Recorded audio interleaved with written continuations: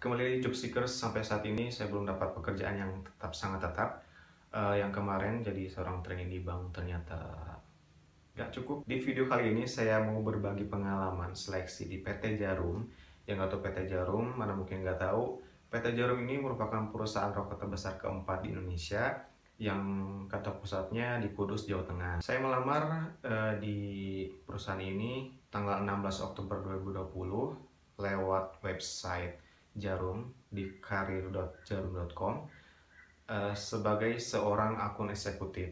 Yang nggak tahu akun eksekutif itu apa, akun eksekutif ini secara umum persis seperti sales, di mana job desk seorang AE atau sales ini yaitu mencari klien dan menjalin hubungan baik dengan klien untuk menghasilkan keuntungan bersama. Saya dapat inviting buat psikotes online di tanggal 21 Oktober 2020 dan waktunya itu pagi hari. BTW mau curhat juga uh, waktu tanggal 21 Oktober itu ternyata saya itu ada dua psikotes. Yang pertama itu di sini di perusahaan ini di PT Jarum, kemudian di PT Orang Tua Grup Arta Boga.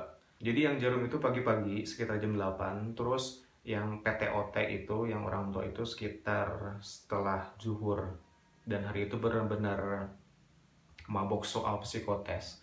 Dan setelah video ini pasti saya akan bikin uh, video untuk PT Orang Tua Group. Oke, okay?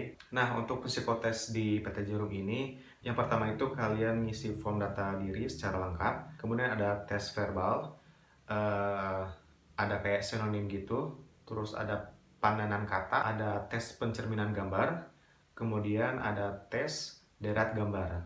Untuk jumlah soalnya lumayan cukup banyak, dan bobot soal di PT Jarum ini lumayan agak berat. Dan pada tanggal 1 November 2020 saya dapat email dari Jarum eh, bahwasannya saya gak lolos untuk evaluasi diri sendiri kalau boleh jujur waktu ngerjain psikotes saya gak terlalu banyak ngerjain soalnya. Dapat pemberitahuan lewat email bahwasannya gak lolos itu uh, itu lebih baik daripada perusahaan yang gak ngasih kita kabar sama sekali gitu kan. Jadi jatuhnya kita masih digantung gitu padahal enggak. Biasanya sih kalau perusahaan uh, tiga minggu kalian nggak dapat kabar ya udah kalian gak lolos. Terima kasih sudah menonton semoga video ini bermanfaat. Jangan lupa untuk subscribe karena saya juga butuh duit. Dadah